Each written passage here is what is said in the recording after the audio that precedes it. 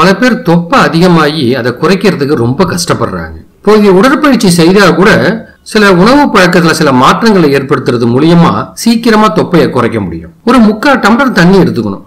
அதுல ஒரு ஸ்பூன் இஞ்சி சாரை ஊதிக்கணும் அப்புறம் தேயிலை ரெண்டு ஸ்பூன் அதுல கலந்துக்கணும். இதை நல்லா கொதிக்க வச்சு இதை காலையில சாப்பாடு சாப்பிடுறதுக்கு முன்னாடி வெறும் வயிற்றுல குடிக்கணும். அதே மாதிரி மாலை நேரத்திலையும் இதை மாதிரி செஞ்சு குடிக்கணும். இப்படி தொடர்ந்து நாற்பது நாள் செஞ்சுட்டு வந்தீங்கனாலே போதும். உங்க தொப்பை சீக்கிரமா குறைய ஆரம்பிச்சிடும் தினமும் தூங்க போறதுக்கு முன்னாடி ஒரு பாத்திரத்துல ஒரு ஒன்றரை டம்ளர் தண்ணியை விட்டு அதுல அன்னாசி பழ துண்டு ஒரு நாளையும் ஓமப்பொடி ஒரு ரெண்டு ஸ்பூனையும் போட்டு நல்லா கொதிக்க வைக்கணும். இது கொதிச்ச உடனே அப்படியே மூடி வச்சிடணும்.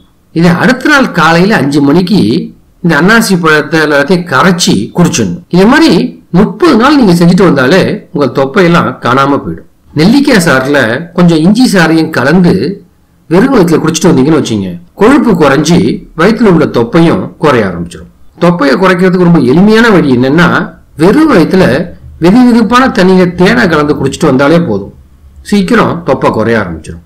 தினமும் காலையில வெது வெதுப்பான தண்ணியில எலுமிச்சை சாறை ஊற்றி அதில் கொஞ்சம் உப்பு அப்புறம் தேனை சேர்த்து குடிச்சிட்டு வந்தீங்கன்னா நிச்சயமா தொப்பை குறையும். ஆனால் அல்சர் உள்ளவங்க இதை பயன்படுத்த வேண்டும்.